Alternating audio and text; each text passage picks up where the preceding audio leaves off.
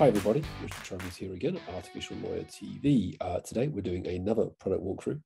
Uh, this time it's a little bit different. Um, we're looking at the winter 2021 um, release of Agiloft. Um, with us to tell us a bit more about it is Andy Wishart. Hi Andy. Hey Richard, good to be here. Thank you for inviting me on. We're delighted and excited to announce the um, Agiloft 2021 winter release um, that we're releasing today. Um, you may recall back in uh, March earlier this year, we had our spring release that was about uh, design and ease of use. We launched a new user interface. Um, so today for the winter release, it's all about connected experiences.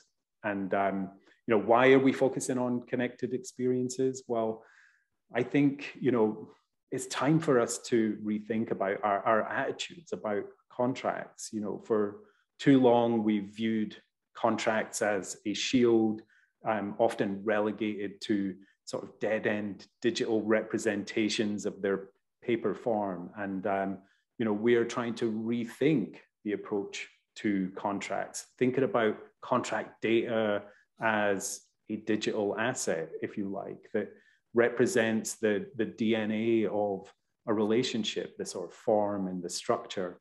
Um, so we're bringing this to life. We think our connected experiences uh, focus in this release is in many ways sort of um, uh, showing this elevation from Agiloft and CLM as a legal tech solution to an enterprise tech solution. And these connected experiences you know we're, we're providing the, the, the capabilities that our customers and their customers their partners their, their suppliers those capabilities that they need to um, work with contracts in the tools that they know and trust so that's what the connected experiences um, theme is about in this release Gotcha. Okay, well, let's have a look. Let's do a bit of a walkthrough, uh, and then I can ask you a couple of questions at the end.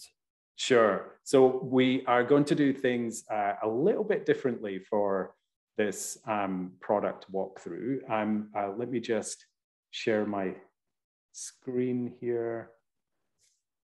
Yeah, so uh, what we're going to do here is um, for the product walkthrough, we're going to follow a fictitious company. Um, the company is called VivaTech. Um, uh, they are working on a high value complex deal with one of their customers, which is called Biosphere. So to showcase the new connected experiences in the Agiloft Winter 2021 release. We're going to follow the contract through its life cycle. Uh, and in fact, we're going to pick up the story on the last day of the quarter. Um, the team at VivaTech, they're a sell side team working on this contract. They're anxiously awaiting the, um, the news of whether the deal has been signed. Uh, and we're really excited to announce that the new Agiloft for Microsoft Teams will now deliver notifications directly um, into Teams, uh, such as when the contract uh, needs, needs approval, you know, perhaps when the contract uh, requires sign-in, or in this case, when the deal is signed. So Agiloft for Microsoft Teams is going to really help sort of reduce those approval cycle times uh, keep keep the team on the same page and and sort of avoid having people dig through their inbox for notification emails. But also, I think importantly, we're at a moment in time uh, whereby much of our sort of social interaction with our colleagues is done on tools like this um, because we're not able to be in person. So it's it's enabling people to celebrate achievements as well, uh, all together in one place. So really excited about the Microsoft Teams for um, uh, Teams app uh, for Agiloft. Now, uh, let's wind back time a little bit for our friends at VivaTech and follow the contract on its journey and touch on some of the other enhancements that are coming to the release. And we start maybe a month earlier um, here in Salesforce with a request. Um, so with the new Agiloft 2021 winter release, we're also excited to announce the launch of a new Agiloft app on the Salesforce App Exchange that um, uh, enables you to connect Salesforce to Agiloft in fewer clicks and less complexity than before, so that your teams can get up requesting contracts within, say, 15 minutes of, of installing the app. So um, the new Agiloft for Salesforce, again, another part of that connected experiences within this release. All right, let's continue to follow that contract. Um, after the request was submitted in Salesforce, Agiloft generated a draft contract uh, from a template, but we know that deals of this size um, are, are heavily negotiated. And so we're also delighted to announce a new redesigned Agiloft contract assistant for Microsoft Word um, that's going to help reduce negotiation cycles and improve accuracy and contain and reduce risk as well.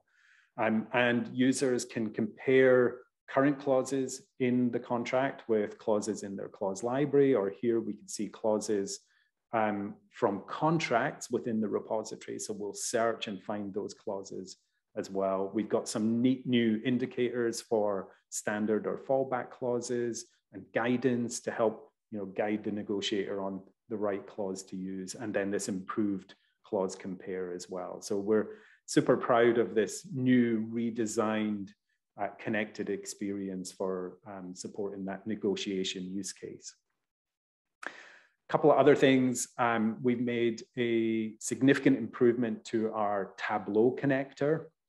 Um, so in the last example, we saw that VivaTech lawyer swapping the standard indemnity clause with a fallback from the library. Um, and that enables us to track those clauses. Um, that enables us to uh, see which clauses are being negotiated most frequently. And the improved Tableau connector enables our customers like VivaTech um, to create these visualizations. And we can see that it is indeed the indemnity clause um, that, that is being negotiated most. Okay, so finally to our last connected experience, we find ourselves back here in Word. Um, and this is one that I'm personally excited about. I've, I've been uh, uh, heavily involved in, in this new connected experience. Um, and it's a new tool for creating and modifying contract templates. And we've uh, extended our Agiloft contract assistant for Microsoft Word with a point and click template designer. So add in variables or conditional clauses. It's all super easy. Um, it's also color coded. The markup in the document is color coded. So it makes it easy for lawyers to um, read their templates as well and empowers those lawyers to make changes to their contract templates, to act on that data, that intelligence about the usage of individual clauses, and then do rebaselining of their templates. Uh, in fact, in, in, this, in this example, the VivaTech lawyer is modifying the contract template to bring in the clause from the clause library, that fallback that is consistently being used in negotiation, bringing that fallback into the template, building a rule around that to say, okay, use this um, uh, for deals over uh, a certain value. So really excited to um, uh, make a dramatic step forward in, uh, in the way in which our customers are, are designing their contract templates. So yeah, uh, I think hopefully, Richard, you, you, you, can see that we're opening up an exciting new world of connected experiences.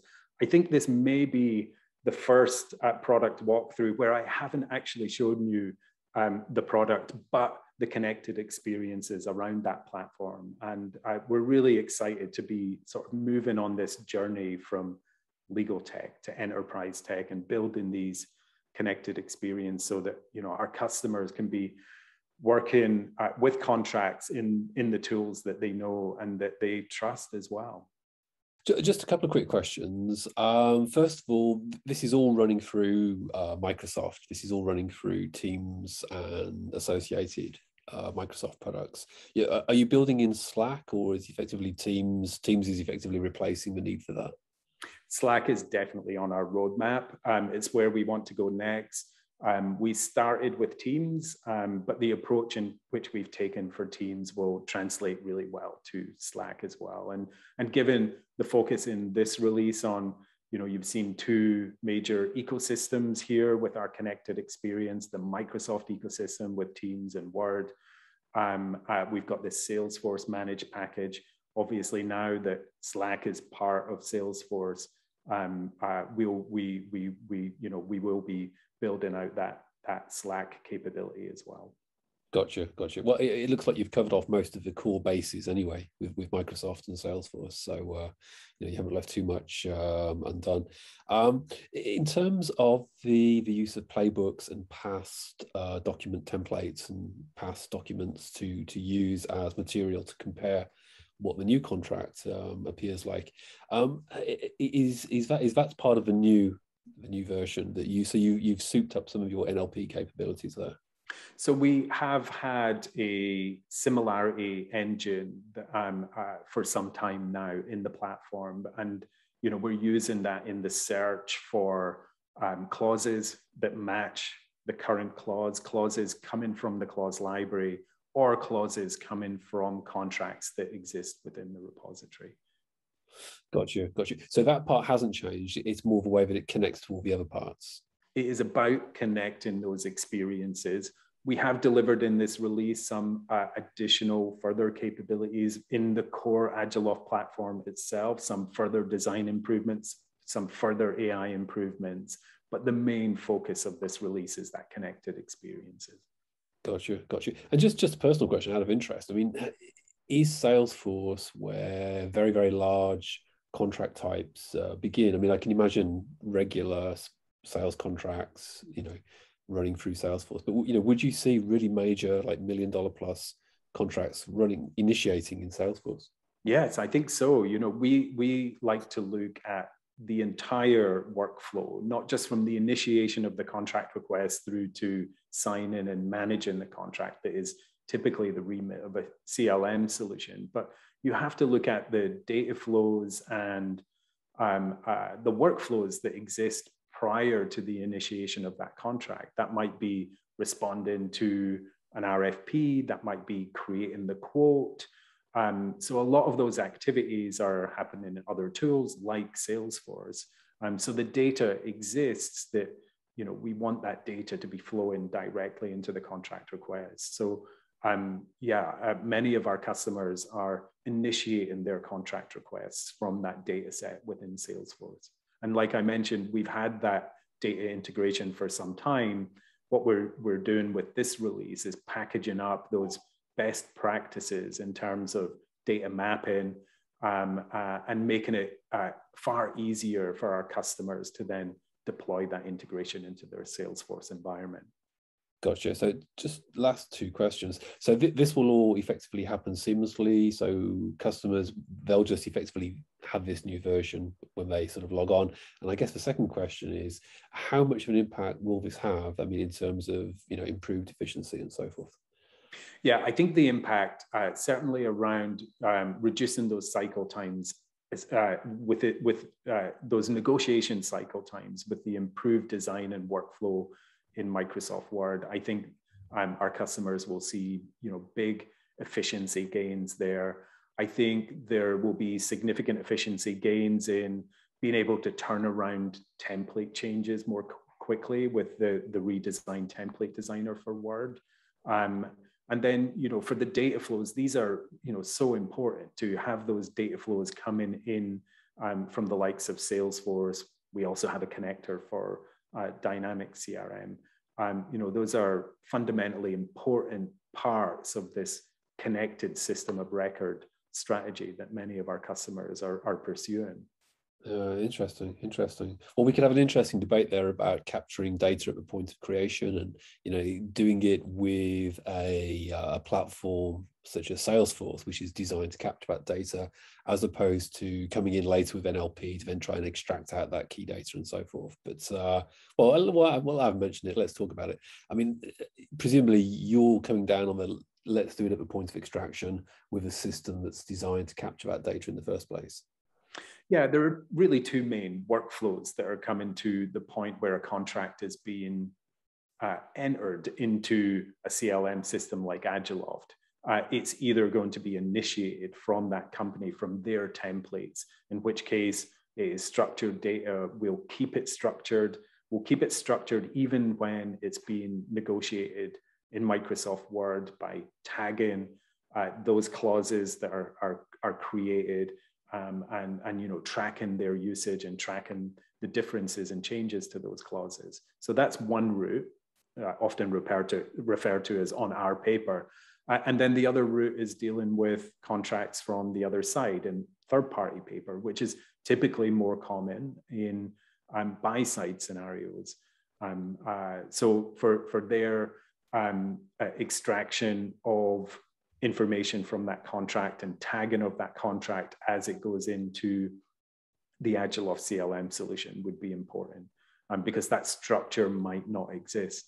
I still uh, dream of this future world where the interoperability between multiple CLM systems would enable us, no matter where the contract initiated from, would enable two CLM solutions to be able to keep that data structured throughout its life cycle.